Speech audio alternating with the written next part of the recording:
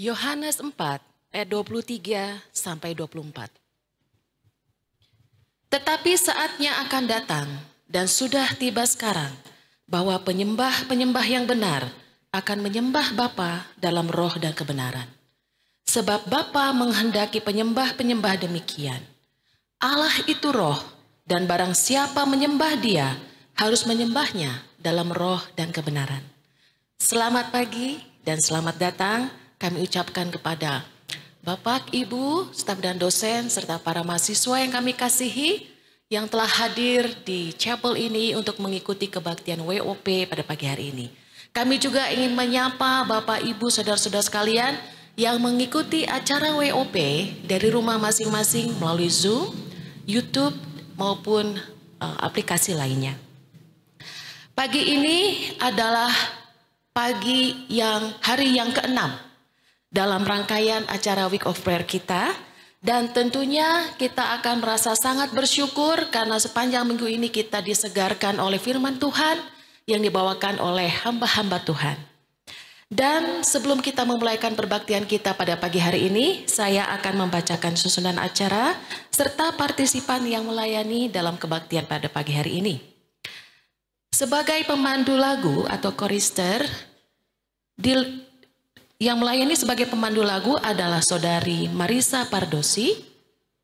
Dan yang melayani sebagai pianis dan organis adalah saudari Clarissa Sagala dan Ibu Caroline Tobing. Welcome remark disampaikan oleh saya sendiri Ibu Joan Hutapea. Sebagai lagu pembuka, nanti kita akan menyanyi dari SDA Hymnal nomor 368, Watchman, Blow the Gospel Trumpet.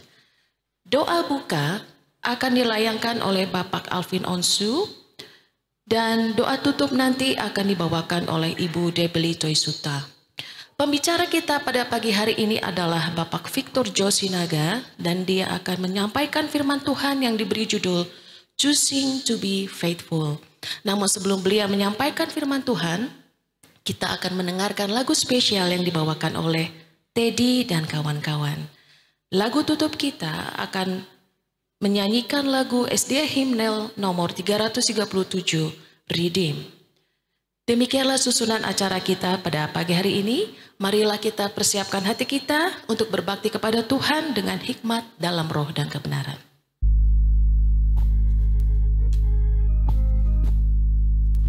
Untuk membuka acara Week of Prayer kita, mari kita menyanyikan dari SD Hymnal nomor 368, Watchman Blow the Gospel Trumpet. Kita sama-sama berdiri.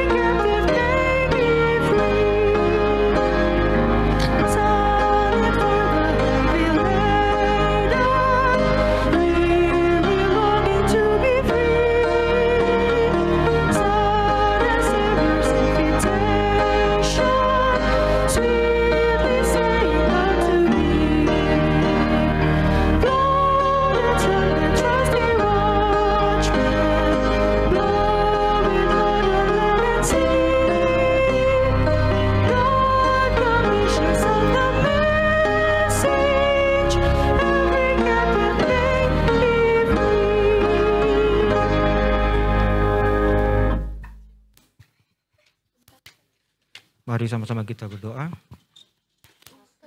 Tuhan Allah Bapa kami yang bertahta dalam kerajaan surga. Pada pagi ini ya Tuhan, kembali kami datang ke hadapan hadiratmu, mengucapkan limpah syukur terima kasih atas segala berkat yang telah Tuhan berikan bagi masing-masing kami. Pada pagi ini ya Tuhan, kami berkumpul di tempat ini untuk mendengarkan nasihat firman Tuhan yang akan disampaikan oleh Pendeta Victor Sinaga.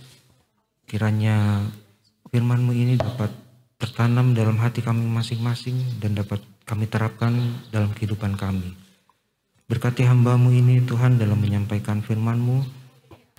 Karuniakan kuasa roh kudus agar apa yang ia sampaikan semuanya itu sesuai dengan kehendak-Mu saja. Berkati juga masing-masing kami yang mendengarkan agar persiapkan hati kami agar kami dapat menerima firman ini. Berkati juga acara ini Tuhan dari awal pertengahan hingga akhirnya. Berkati peralatan yang dipergunakan baik offline maupun online yang mengikuti melalui Zoom, YouTube maupun Facebook. Kiranya acara ini dapat berjalan dengan baik, setuju dengan kehendak Tuhan saja. Berkati kami sepanjang hari ini Tuhan, karena kami berdoa dalam nama Yesus Juru Selamat dan penebus dosa kami. Amin.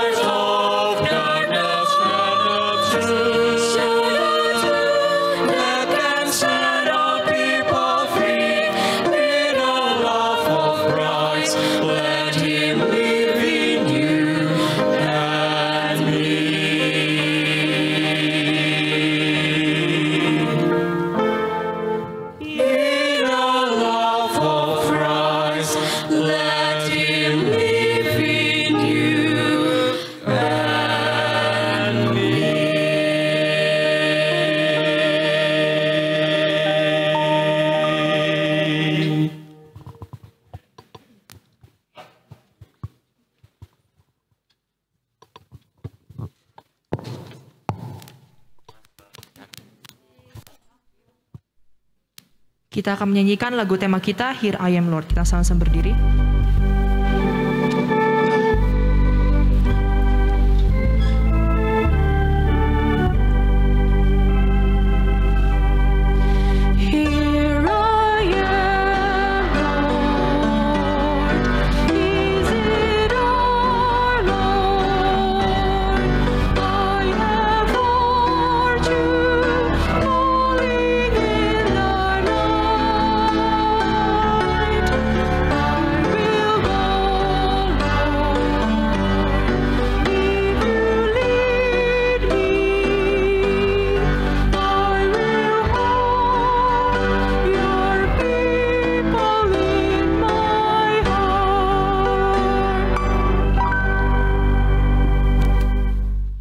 Mari kita berdoa. Tuhan Bapa di surga, pagi ini pun kami sangat berbahagia, sama seperti berkat-Mu yang sudah kami terima di hari-hari yang lalu. Pagi ini hari yang indah, hari yang baru, menikmati berkat Tuhan di rumah-Mu di tempat ini. Kami telah hadir di tempat ini Bapa karena kami rindu untuk mendengar firman Tuhan, memberi kami kekuatan dan kebangunan rohani di dalam proses kehidupan kami di kampus Universitas Advent Indonesia ini.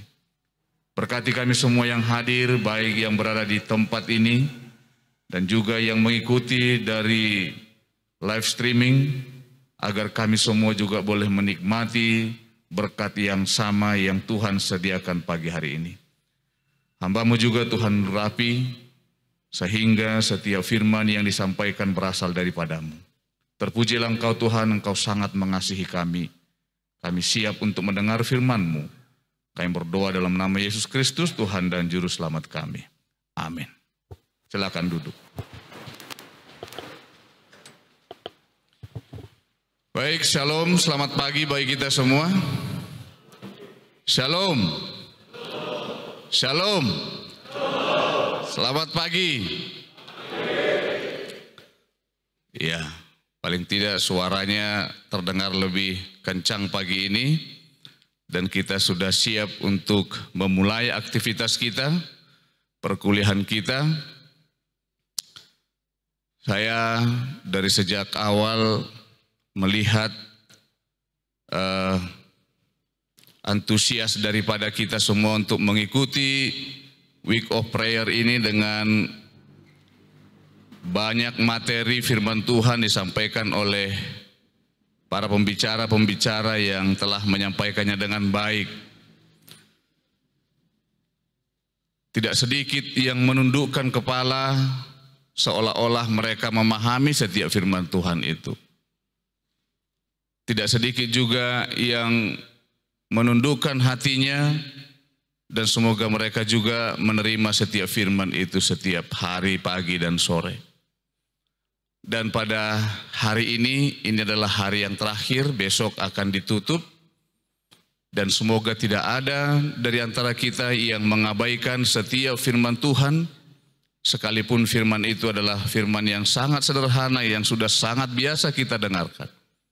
Tapi saya percaya itu menjadi berkat bagi kita semua.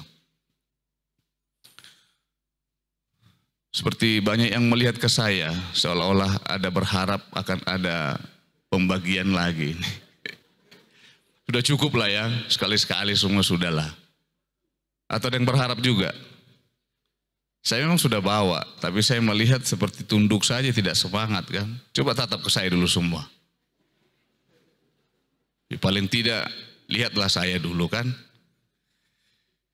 Baik, saya juga bingung. Semua semua kategori sudah dipanggil ke sini. Tinggal satu kategori nih yang belum dapat kebagian ini. Ada yang berikan masukan kemarin ke saya, Sir. Masa yang kami-kami ini tidak dipanggil? Apakah kami juga tidak berharga di hadapan Tuhan? Kira-kira siapa itu?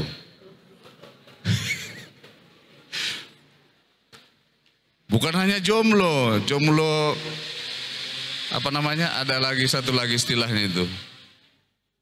Jomblo ngenes ya. jomblo yang tidak pernah punya kesempatan untuk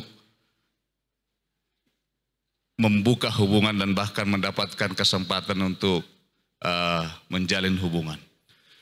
Baiklah, saya kemarin sudah membagi untuk tiga orang. Karena jomblo kan tidak berpasangan, maka saya tambah tiga orang itu. Yang sudah berarti kalau masih datang mereka berbohong sebelumnya. Ya, yang sudah memiliki pacar tidak boleh lagi datang. Baik saya panggil yang benar-benar jomblo lah datanglah ke depan. Gak apa-apa, perkenalkan dirimu bahwa kamu itu jomblo. Kalau sudah, sudah pernah, sudah pernah datang ke depan ini?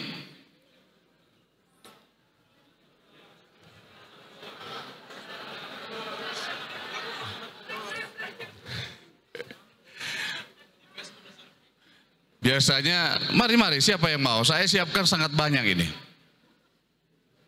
Mudah-mudahan dengan hadiah ini nanti mereka tidak jomblo lagi. Nah, itu dia. Baik, masih ada dari perempuan, semua sudah punya pacar ini, sudah semua punya pasangan. Ayo, mari. Saya ada siapkan enam pasang, berarti boleh datang enam orang. Ada. Terima kasih kalau memang sudah semua berpasangan. Berarti, oh ini hanya laki-laki. Oh ini bukan ya. Baik. Ada lagi? Baik kalau kita naikkan harkat martabatnya sedikit di atas. Yang pernah didekati atau punya uh, apalah ya namanya yang sudah PDKT lah silahkan datang ke depan terlalu nggak enak juga kalau bilang jomblo jomblo ngenes lagi ya tidak mungkin lah ya ayo mari mari siapa yang mau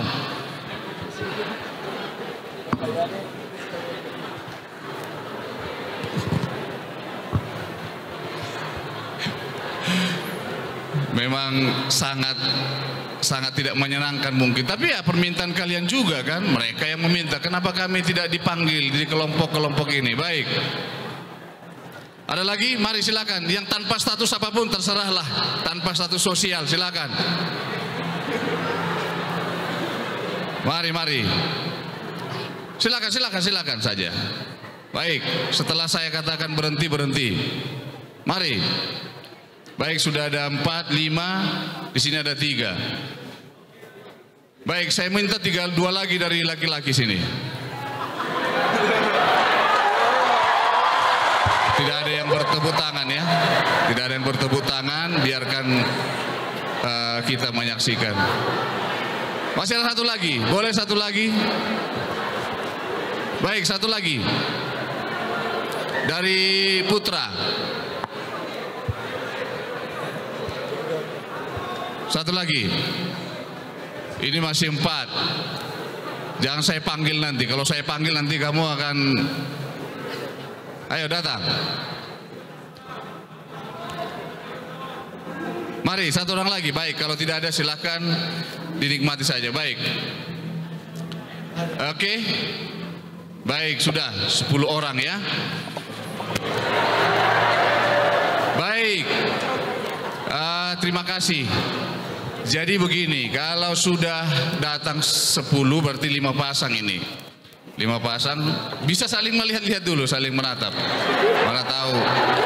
Oke, baik teman-teman asrama putra dan asrama putri. Selamat sudah datang ke tempat ini.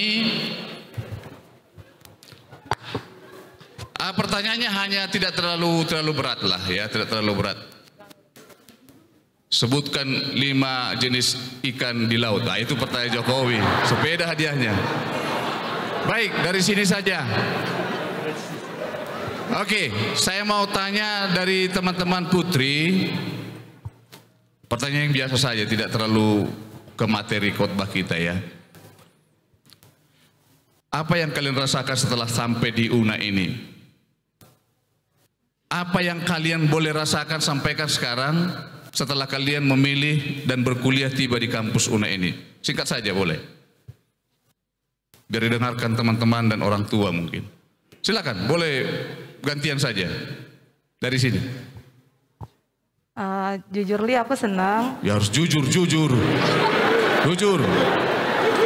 Supaya bapak-bapak pimpinan ini rektor juga dengar. Ayo, senang bisa kuliah di Unai dan berharap dapat jodoh Advent dari Unai. dapat jodoh Advent dari Unai. Ya, Itu dia. Baik, apa lagi? Nomor dua. Silakan. Eh, senang sih Sir, excited ketemu Senang. sama orang-orang lagi. Wah, menyenangkan ya. Ekspektasinya sesuai ya. Lumayan Sir. Lumayan, oke. Silakan langsung semua lanjut. Excited Sir, bahagia. Baik, luar biasa ini. Ya, jujur ini ya. Jujur Sir. Jujur, oke.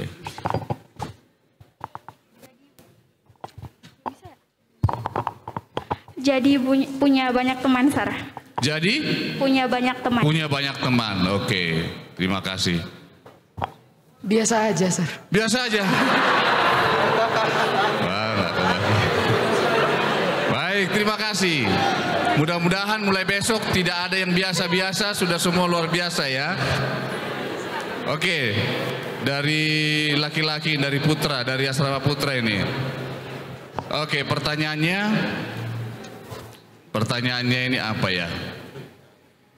Apa warna dasi Bapak Rektor pada waktu dia khotbah pertama sekali? Siapa yang bisa jawab? Warna merah. Ah, salah itu. Hitam. Ah, salah. Berarti kita ganti pertanyaannya. Oke, pertanyaannya hanya kehidupan biasa saja ya. Satu hal saja sebutkan. Hal yang paling sangat berkesan kamu dapatkan setelah tiba di UNA ini. Banyak memiliki teman. Banyak teman. Jangan sama jawabannya Putra. Dari sini coba. Iya, dari dari jasa. Baik, hal yang paling saya rasakan eh, selama Singkat saja, nggak usah banyak. singkat aja saya. Dua kalimat saja. Yaitu bahwa Tuhan itu mengajarkan saya lebih baik dari yang sebelumnya. Mengajarkan lebih baik dari sebelumnya. Baik, Brev. Yang saya dapatkan eh, banyak pengalaman baru, Sir. Yang baru itu apa itu? Pengalaman, Pengalaman. eh, disakiti, Oh, disakiti. pengalaman Aduh. ditinggalkan, banyak lah, Sir. Baik, lanjut, lanjut, lanjut. Silakan. Baik, eh, Kenapa sampai dua mic-nya? Oke, silakan. Baik, lanjutkan. dan kalau saya secara pribadi eh, bisa mengenal dosen-dosen yang baik pada saya dan juga bisa berbaur dengan teman yang beda suku dan bahasa. Stefan. Ini kalau saya eh, banyak teman, saya kerja keras di kampus Unai, rajin beribadah dan segala macam pun. Nah. Ayo, Putra. Kalau saya sisar eh, pengalaman yang paling berkesan, berkesan itu adalah eh, selain dapat teman baru, dapat ilmunya juga yang baru, terus dapat pengalaman yang luar biasa di sini. Oke, terima kasih. Baik, saya akan berikan eh, sesuatu kenang-kenangan untuk teman-teman semua. Saya sudah menyiapkan yang sangat bermanfaat. Semoga itu juga boleh kalian gunakan dengan baik ya.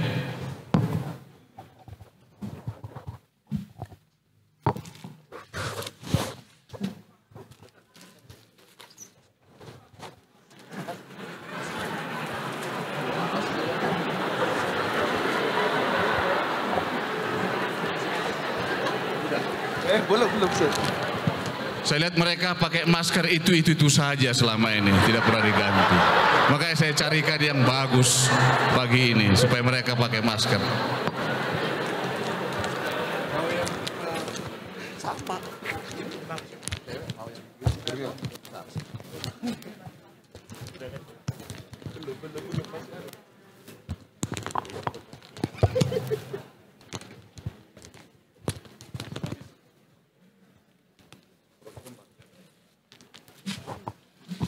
Yang untuk kaum perempuan selalu dilebihkan ya, supaya kalian kalau mereka nanti datang, lihat perhatikan mereka. Mereka ini sebagian ada jomblo, jadi kalian bisa dekati nanti. Kita tambahkan Tolong kalian bagi satu-satu ke mereka. Ayo, satu orang satu orang bagi-bagi. Siapa yang kamu suka bagi-bagi saja.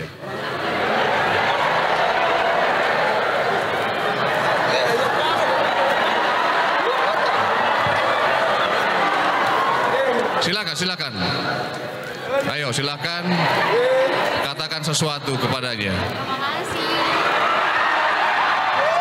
Baik, terima kasih. Oke, silakan duduk. Selamat menggunakannya dan pasti kita semua akan memiliki kesan yang baik eh, dari apa pun berkat Tuhan yang kita terima pagi hari ini. Baik, teman-teman, para mahasiswa, mahasiswi yang hadir dari asrama dan juga Bapak Ibu, saudara-saudara, anggota jemaat, staf dan dosen dari live streaming, kita akan belajar kembali pada pagi hari ini satu pelajaran penting yang menjadi dasar kehidupan kita sebagai orang Kristen agar kita boleh berjaga-jaga bersedia akan kedatangan Kristus yang sudah tidak lama lagi. Choosing to be faithful, memilih untuk setia, itulah judul firman Tuhan yang akan kita bahas dan dengarkan pagi hari ini. Ayat intinya mari kita buka dalam dua Raja-Raja pasal 17 ayat yang ke-37. Dua Raja-Raja pasal 17 ayat 37. Tetapi kamu harus berpegang kepada ketetapan-ketetapan, peraturan-peraturan hukum dan perintah yang telah dituliskannya bagimu. Dan dengan setia janganlah kamu berbakti kepada Allah-Allah lain. Perjanjian setia, kalau kita membuka Alkitab, akan sangat banyak ayat-ayat yang mengarahkan kita kepada satu perintah, kepada satu arahan dari Tuhan untuk hidup yang dipenuhi dengan kesetiaan. Keadaan dunia kita sekarang ini adalah dunia yang semakin menakutkan. Hidup di tengah-tengah dunia yang mengerikan. Kita berada di tengah-tengah orang-orang yang beragama dengan kesalehan yang palsu. Kita melihat kecurangan, pencurian, pembunuhan, penganiayaan. Dan kita bisa melihat agama seolah tidak memiliki kuasa untuk menghentikan kejahatan di antara sesama pemeluk agamanya. Dan kesusahan itu sudah terjadi di masa yang lalu dan bahkan akan terus terjadi di sepanjang masa yang akan datang. Bahkan lebih dahsyat lagi. Satu minggu ini semua anak-anak muda mungkin sangat-sangat dengar berita ini. Ada dua orang yang disebut oleh media dan juga sebutan orang-orang kaum milenial ini yang disebut dengan crazy rich. Satu berasal dari Medan, satu berasal dari Bandung. Beberapa bulan terakhir sebelum mereka dinyatakan bersalah atau diduga melakukan tindakan pelanggaran yang sangat berat dalam kehidupan sehari-hari mereka memamerkan hal-hal yang membuat orang tercengang. Bahkan mereka sanggup menunjukkan pembelian-pembelian peralatan kendaraan atau alat-alat apa saja dengan nilai yang miliaran rupiah yang orang sangat tidak mungkin untuk waktu yang singkat dapat mengumpulkan uang sebanyak itu. Indra Kens, kita dengar itu beritanya dan kita ikuti perkembangannya.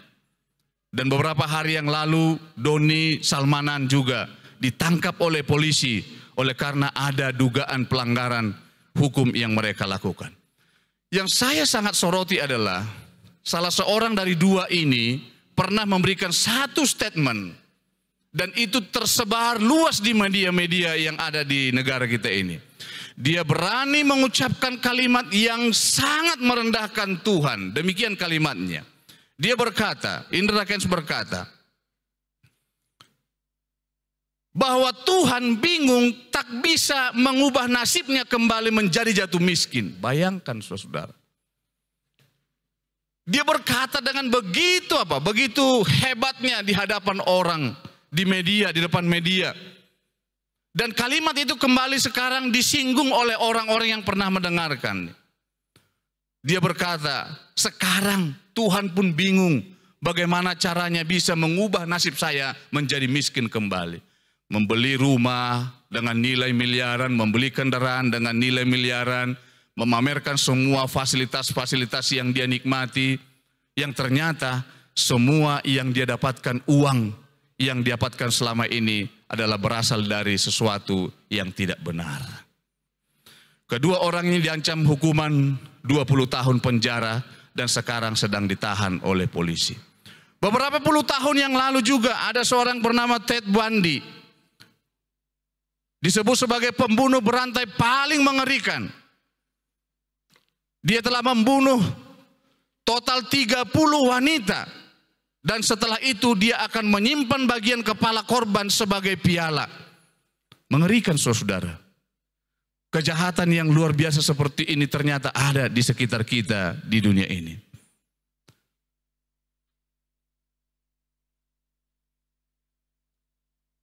Di negara kita, beberapa belasan tahun yang lalu saya masih ingat ini. Bernama Dukun Ahmad Suraji. Dia merupakan pembunuh berantai terkenal di Indonesia. Membunuh 42 wanita antara 1984 sampai 1994. Dan pengadilan memutuskan hukuman mati dan menjalani eksekusi mati pada tahun 2008 yang lalu. Andre Cikatilo, pembunuh berantai dari Rusia, melecehkan, membunuh dan memutilasi lebih dari 50 wanita muda dan anak-anak. Dan akhirnya tahun 1994 yang lalu juga dieksekusi mati oleh karena pelanggarannya. Dari wilayah kita, Dukun Asep, Tubagus Maulana, membunuh delapan orang yang ingin menggandakan uang membunuh para korban lewat ritual dan memberikan minuman beracun dengan tujuan supaya bisa mengambil alih uang daripada orang-orang yang datang kepadanya. Akhirnya dia juga difonis hukuman mati dan dieksekusi tahun 2008 yang lalu. John Wayne dijuluki sebagai badut pembunuh, memperkosa, menyiksa dan membunuh 33 remaja laki-laki selama enam tahun dan badut pembunuh ini juga telah dieksekusi mati pada tahun 1994 yang lalu. Benarlah apa kata Alkitab. Dari 2 Timotius pasal yang ketiga, ayat 1 sampai dengan ayat yang kelima. Mari kita perhatikan firman Tuhan ini. Ketahuilah bahwa pada hari-hari terakhir akan datang masa yang sukar. Manusia akan mencintai dirinya sendiri dan menjadi hamba uang mereka akan membual dan menyombongkan diri. Mereka akan menjadi pemfitnah. Mereka akan memberontak terhadap orang tua. Tidak tahu berterima kasih. Tidak memperdulikan agama. Tidak tahu mengasihi, tidak mau berdamai, suka menjelekan orang, tidak dapat mengekang diri, garang, dan tidak suka yang baik. Suka berkhianat, tidak berpikir panjang, berlaga tahu, lebih menuruti hawa nafsu daripada menuruti Allah. Secara lahiriah mereka menjalankan ibadah mereka, tapi pada hakikatnya mereka memungkiri kekuatannya. Jauhilah mereka itu. Hal yang paling mengerikan yang kita bisa saksikan sekarang ini adalah secara lahiriah mereka menjalankan ibadah mereka, tetapi pada hakikatnya mereka memungkiri kekuatannya. Bukankah banyak sekarang umat-umat yang mengaku sebagai orang-orang Kristen pengikut Kristus, tapi kelakuan dan perbuatan tidak seperti Yesus Kristus. Mereka sesuka hati berbuat kejahatan. Mereka hanya memikirkan diri sendiri, mengabaikan perintah Allah, hilangnya kasih di antara sesama, dikuasai roh pemberontakan dan agama lahiriah hanya untuk dilihat orang. Saya mau katakan kepada teman-teman mahasiswa-mahasiswi yang ada tinggal di asrama. Kalaupun kau merasa, engkau merasa kehidupan di asrama, di kampus ini terlalu menjengkelkan, boleh saja pemikiran itu timbul. Tapi pastikan saudara-saudara hatimu hari ini bahwa semua itu adalah untuk memberikan satu kepastian jalan hidupmu agar engkau tetap memiliki warisan iman, agama yang benar sesuai dengan harapan orang tuamu karena di sini kita akan mendapatkan semua keperluan-keperluan pertumbuhan kerohanian kita. Kalau kita melihat kehidupan umat manusia yang jahat sekarang, itu sudah terjadi ribuan tahun yang lalu di padang belantara, di padang gurun Sinai, di padang belantara perjalanan bangsa Israel menuju tanah Kanaan.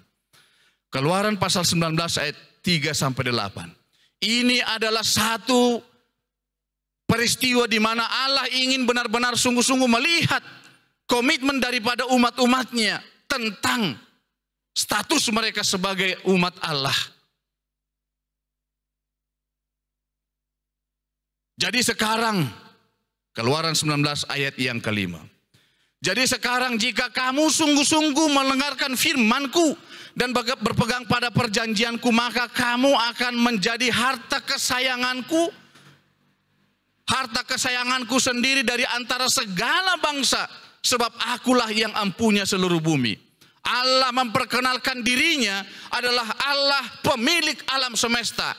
Kalau kamu mau, kamu akan menjadi umat kesayanganku dibandingkan daripada umat-umat yang lain yang tidak mengenal Tuhan.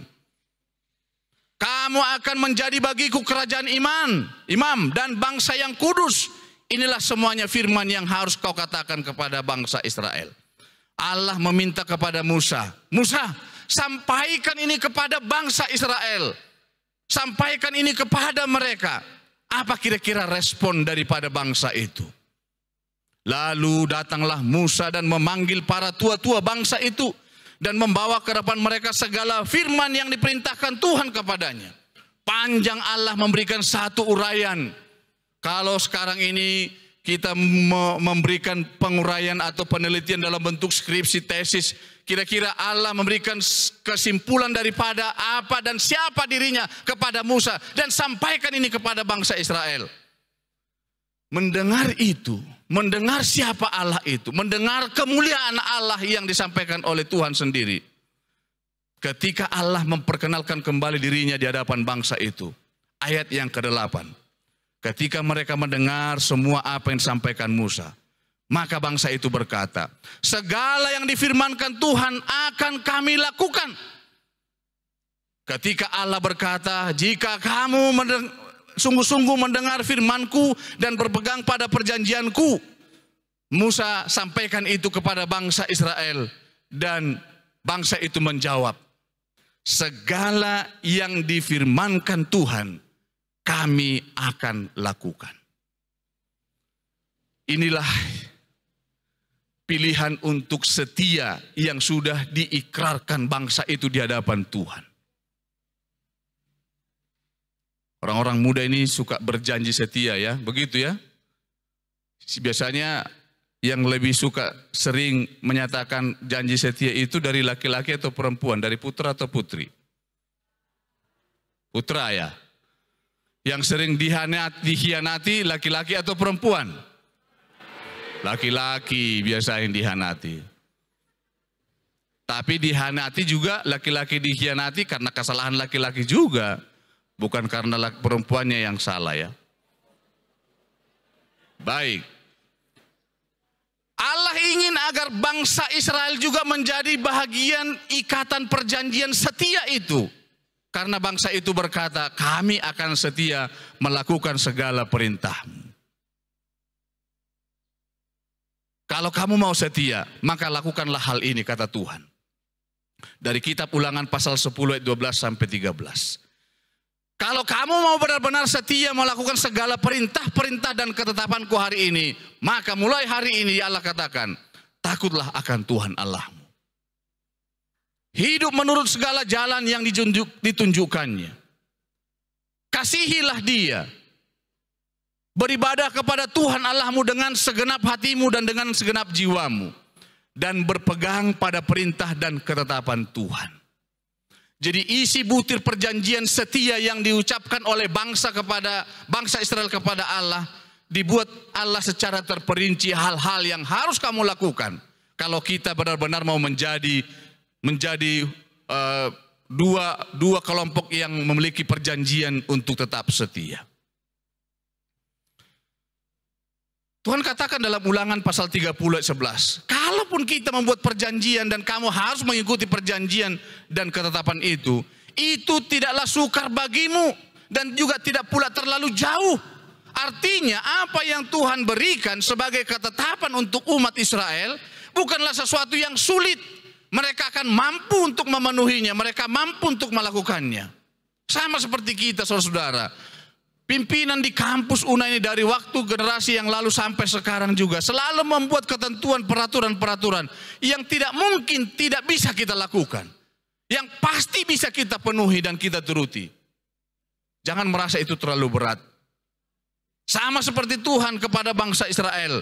Dia katakan, peraturan, perintah yang kusampaikan pada hari ini tidaklah terlalu sukar bagimu. Dan jikalau kamu mengasihi aku, kamu akan menuruti segala perintahku. Yohanes pasal 14 ayat 15. Tidak lama setelah ikrar setia diucapkan, apa yang dilakukan oleh bangsa Israel kepada Tuhan di hadapan Tuhan. 2000 tahun yang lalu, Rasul Paulus menuliskan dalam kitab 1 Korintus pasal 10 ayat 16, ayat 6 sampai 11. Apa yang terjadi dengan amaran Allah kepada bangsa itu? Ketika Allah berkata supaya mereka setia dan menuruti ketetapan Tuhan dan seterusnya. Rasul Paulus memberikan kesaksian bangsa itu justru berbuat jahat di hadapan Tuhan. Bangsa itu justru menyembah berhala di hadapan Tuhan. Bangsa itu justru melakukan percabulan di hadapan Tuhan. Bangsa itu justru melakukan pencobaan kepada Tuhan. Bangsa itu justru melakukan persungut-sungutan di hadapan Tuhan. Dan bangsa itu melakukan hal-hal yang berbeda daripada apa yang Tuhan kehendaki di masa mengadakan perjanjian itu. Dan Alkitab membuktikan segala perbuatan bangsa Israel itu. Dalam kitab ulangan pasal 9 ayat 18 bagian B. Karena segala dosa yang telah kamu perbuat yakni kamu melakukan apa yang jahat di mata Tuhan sehingga kamu menimbulkan sakit hatinya. Nyonya White dalam buku Alfa dan Omega jilid 1 halaman 380. Demikian Tuhan eh, hamba Tuhan menuliskannya. Di antara segala macam dosa yang akan dihukum oleh Allah, tidak ada yang lebih keji daripada pemandangannya daripada mereka yang mendorong orang lain untuk melakukan atau berbuat kejahatan. Saya teman-teman mahasiswa di Asrama Putra. Kalau saya lihat ada dari teman-teman ini yang mulai ke terdampak, mulai tergoda untuk mulai tidak tidak tidak benar dalam mengikuti peraturan. Saya katakan, ganti temanmu. Jangan dengan dia lagi. Jangan lagi berteman dengan orang-orang yang membawa kamu melakukan hal-hal yang melanggar peraturan di kampus ini. Dan teman-teman tahu, saya tahu ini. Banyak dari antara kalian yang mungkin memiliki sifat yang ada kelalaian atau ada hal-hal yang kelemahan-kelemahan yang selama ini kita lakukan. Kita mau agar orang lain juga, teman kita juga melakukan hal yang sama. Supaya jangan hanya saya sendiri yang dihukum, biarlah juga yang lain ikut. Tapi ingat ini, hamba Tuhan katakan, di antara segala macam dosa yang akan dihukum oleh Allah, tidak ada yang lebih keji pada pemandangannya daripada mereka mendorong orang lain untuk berbuat kejahatan. Ini yang terjadi dalam peristiwa ketika bangsa itu menyembah anak lembu emas. Banyak orang sebenarnya tidak tahu apa ini yang akan diarahkan kepada kita. Mereka diajak, diarahkan supaya ikut menyembah anak patung lembu emas itu. Dan akhirnya banyak dari antara bangsa itu yang harus dihukum oleh Tuhan oleh karena pelanggaran penyembahan berhala itu. Keluaran pasal 32 ayat 26 sampai 28. Maka berdirilah Musa di pintu gerbang perkemahan itu serta berkata, siapa yang memihak kepada Tuhan datanglah kepadaku. Hamba Tuhan yang nyawait dalam buku Alfa Omega jilid 1 382. Allah melakukan hal itu sebagai satu bukti akan rasa muak terhadap pemberontakan dan penyembahan berhala. Saudara yang dikasihi Tuhan, melakukan kejahatan penyembahan berhala adalah hal yang paling mengejikan di hadapan Tuhan pada masa itu. Dan amarah Musa terlihat ketika melihat bangsa itu sedang menyembah berhala anak lembu emas. Dua loh yang berisi sepuluh perintah, dua loh batu yang berisi sepuluh perintah Tuhan yang dia dapatkan dari Allah. Akhirnya dia lemparkan kepada anak lembu patung. Patung anak lembu emas itu. Oleh karena begitu sakit hatinya Musa.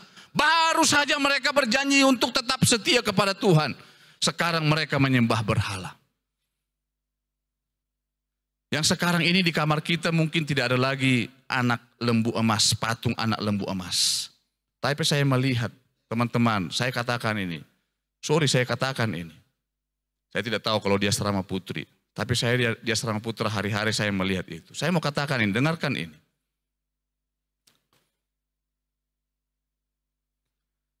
Jika ada sesuatu dalam sistem penilaian dari dirimu yang kita buat, yang kita miliki, dan di dalamnya kita menghargai sesuatu itu lebih menjadi lebih layak dan kita lebih taat kepadanya daripada setia kepada Allah, itulah berhala. Kalau gadget handphonemu itu jauh melebihi Tuhan yang kita sembah, keperluannya untuk diri kita itu adalah berhala. Handphone kalau sudah rusak satu hari, sudah kalang kabut, sudah kayak sudah tidak tahu tidak tidak tahu berbuat apa-apa lagi seperti yang saya lihat ya. Kalau ada handphone yang sudah rusak atau tidak bisa hidup, mati gaya dia langsung, tidak tahu buat apa-apa. Bukankah itu juga adalah berhala? Bukankah itu juga mengabaikan hubunganmu kepada Tuhan, menghalangi kesetiaanmu kepada Tuhan? Yang ketiga, bangsa itu melakukan percabulan.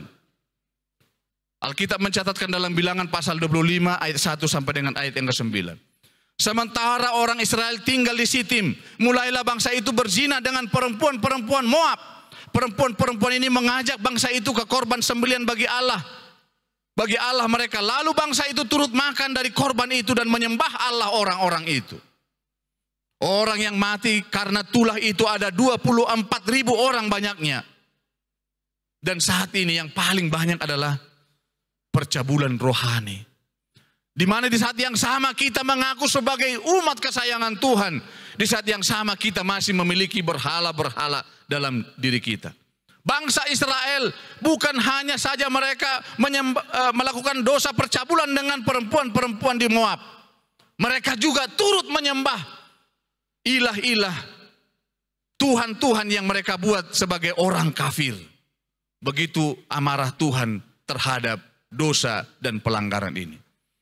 Hamba Tuhan yang Wahid menuliskannya tentang dosa dan pelanggaran ini. Yang berbuat dosa itu dibinasakan. Kemudian mayat mereka digantung di hadapan segenap bangsa Israel.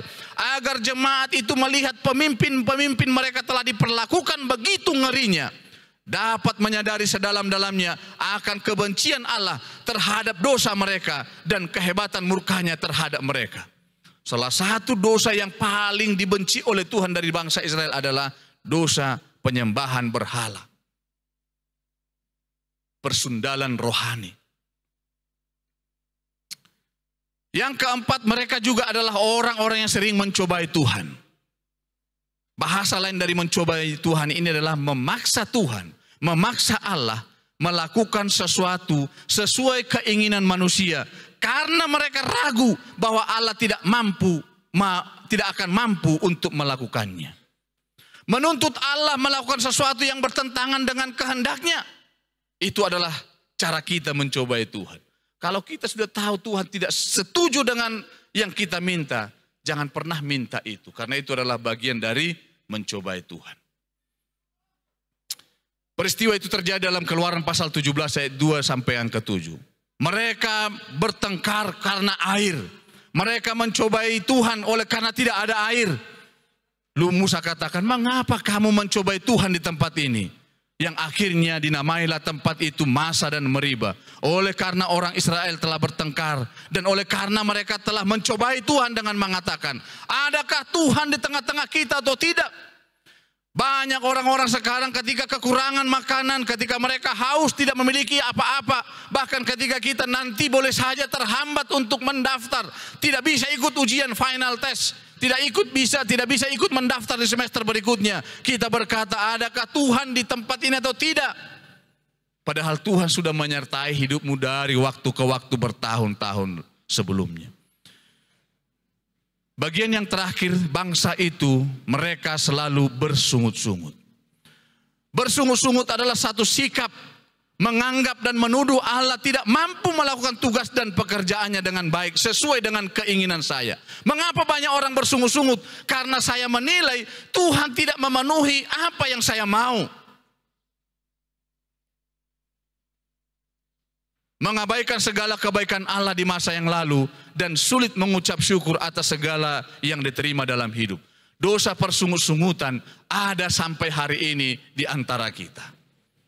Seolah-olah Tuhan tidak memberikan apa yang kita minta sehingga kita selalu bersungut-sungut.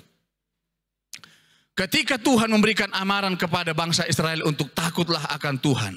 Kemudian bangsa itu melakukan dosa berbuat jahat.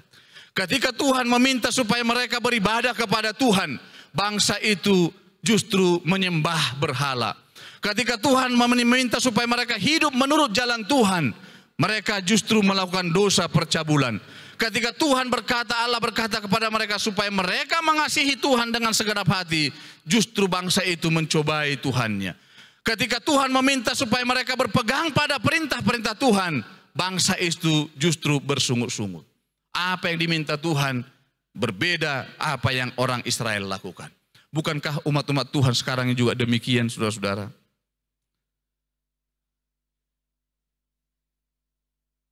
Buku Maranatha yang ditulis oleh hamba Tuhan Nyonya White, halaman 137. Kepada saya ditunjukkan bahwa satu keadaan perkara yang mengerikan berada dalam dunia kita. Malaikat rahmat sedang melipat sayapnya dan siap untuk berangkat. Kita melihat dan mendengar adanya kekacauan, kebingungan, kemiskinan, kelaparan, gempa bumi, kekejaman yang mengerikan akan dilakukan oleh manusia. Hawa nafsu tanpa alasan menyebabkan kegoncangan. Undangan Allah kepada kita saat ini dengan keadaan berontakan dan dosa-dosa yang ada di sekitar kita. Wahyu 14 ayat yang ketujuh. Ia berseru dengan suara nyaring. Takutlah akan Allah dan muliakanlah dia. Karena telah tiba saat penghakimannya dan sembahlah dia yang telah menjadikan langit dan bumi dan laut dan semua mata air. Saat Petrus mengkhotbahkan khotbah yang juga hampir sama dengan khotbah Musa kepada orang-orang Yahudi di Jerusalem. Petrus memberikan satu khotbah yang sangat menyentuh bangsa itu, menceritakan bagaimana Yesus Kristus yang sudah datang untuk menjadi juru selamat daripada umat manusia yang berdosa. Kemudian orang-orang Yahudi yang mendengar khotbah itu bertanya kepada Petrus, "Apakah yang harus kami perbuat, saudara-saudara?" Apalah yang bisa kami perbuat sekarang dengan melihat dosa-dosa yang sudah orang tua, nenek moyang kami perbuat dan bahkan kami juga ikut lakukan. Kisah 2 ayat 38. Bertobatlah. Hendaklah kamu masing-masing memberi dirimu dibaptis dalam nama Yesus Kristus untuk pengampunan dosamu. Maka kamu akan menerima karunia roh kudus. Baptisan Memilih untuk setia adalah mari coba ambil waktu untuk memikirkan kehidupanmu di masa yang lalu. Benarkah engkau telah hidup sesuai dengan apa yang Tuhan kehendaki? Dalam Roma pasal 6 ayat 3 sampai dengan yang keempat. Alkitab memberikan satu penjelasan tentang arti baptisan. Atau tidak tahukah kamu bahwa kita semua yang telah dibaptis dalam Kristus telah dibaptis dalam kematiannya?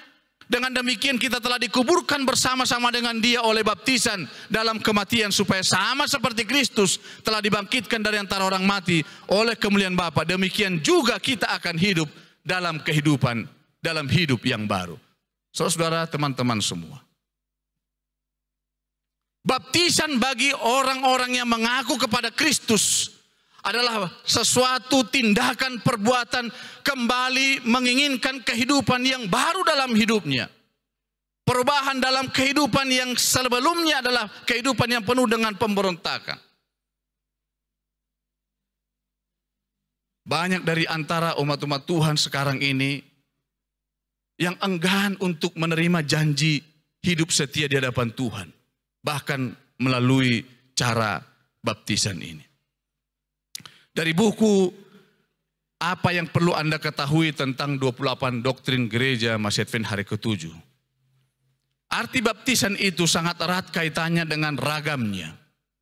Alfred Plummer berkata, hanyalah baptisan yang dilakukan dengan cara selam yang mempunyai makna utuh yang kelihatan.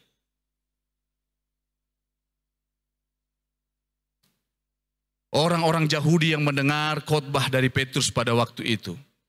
Orang-orang yang menerima perkataannya itu memberi diri dibaptis. Dan pada hari itu jumlah mereka bertambah kira-kira 3000 jiwa. So, saudara yang kasih dalam Tuhan. Saya percaya masih banyak dari antara umat-umat Tuhan, sahabat-sahabatku yang hadir pada pagi hari ini, belum mengambil komitmen untuk hidup baru dalam Tuhan. Belum berani mengambil keputusan untuk setia di hadapan Tuhan. Walaupun dia mengetahui bahwa kehidupan-kehidupan yang masa yang lalu adalah kehidupan yang penuh dengan pelanggaran. Kehidupan yang penuh dengan pemberontakan. Kehidupan yang penuh dengan persungut-sungutan. Kehidupan yang penuh dengan penyembahan berhala dalam tanda kutip kehidupan kita sehari-hari. Jika engkau menginginkan baptisan, langkah-langkahnya adalah bertobat. Bertobat dari setiap kehidupanmu yang lalu. Percaya kepada kepada Yesus Kristus sebagai juru selamat yang telah menebus engkau dari dosa-dosamu. Dan teruslah belajar untuk mengenal Tuhan lebih dekat. Apakah baptisan berarti saya menjadi bagian dari gereja Kristus? Ya. Allah mau supaya orang-orang yang menerima baptisan itu juga adalah bagian dari orang-orang yang akan diselamatkan. Karena apa? Yesus adalah kepala dari tubuh yaitu jemaat. Jika engkau ingin menjadi bagian dari jemaat, jika engkau menjadi bagian dari tubuh Kristus itu, maka engkau harus mengambil keputusan untuk menjadi bagian daripada jemaatnya. Tiap-tiap hari Tuhan menambahkan jumlah mereka dengan orang yang diselamatkan. Pesan Kristus kepada murid-muridnya, kepada jemaatnya. Karena itu pergilah, jadikanlah semua bangsa muridku. Baptislah mereka dalam nama Bapa, Anak, dan Roh Kudus. Dan ajarlah mereka melakukan segala sesuatu yang telah kuperintahkan kepadamu. Dan ketahuilah, aku menyertai kamu senantiasa sampai kepada akhir zaman. Baptisan itu adalah mengikuti perintah Tuhan Yesus Kristus. Baptisan ini bukan perintah manusia, saudara. Jangan ikuti perintah manusia. Kalau baptisan itu adalah perintah Yesus Kristus, maka saya wajib untuk mengikutinya. Jangan lagi ingat ke kehidupan bangsa Israel ketika Allah katakan harus menyembah Tuhan, tapi mereka menyembah berhala. Harus setia kepada Tuhan, tapi mereka justru melakukan percabulan. Baptisan adalah perintah Yesus Kristus. Baptisan adalah menerima hidup baru dalam Yesus Kristus. Jika engkau ingin hidupmu diperbaharui, hidup yang lebih baru, hidup sesuai dengan rencana Kristus, maka baptisan menjadi pilihan untuk memulainya. Baptisan juga adalah untuk pengampunan dosa dan dalam Kristus ada jaminan hidup kekal. Yesus katakan, aku akan menyertai engkau sampai kepada akhir zaman. Ketika Yesus memberikan perintah itu, maka perintah itu akan menjadi berkat bagi orang yang mengikutinya. Hamba Tuhan yang White dalam buku Maranatha 137 kembali menuliskan, murka Allah tertuju kepada penduduk dunia yang dengan cepat menjadi sama jahatnya dengan penduduk Sodom dan Gomora dahulu. Tuhan akan mempersingkat pekerjaannya dan mengakhiri dosa bahwa pemandangan yang telah diperlihatkan kepada saya mengenai kejahatan yang dilakukan pada akhir zaman dapat menanamkan suatu kesan yang mendalam kepada pikiran orang yang mengaku umat Allah. Dunia kita akan semakin jahat, saudara.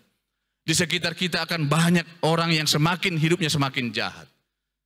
Dan hamba Tuhan Yahweh katakan sebelum kedatangan Kristus itu akan kita lihat setiap hari. Dan sekarang hal itu sudah ada di hadapan kita.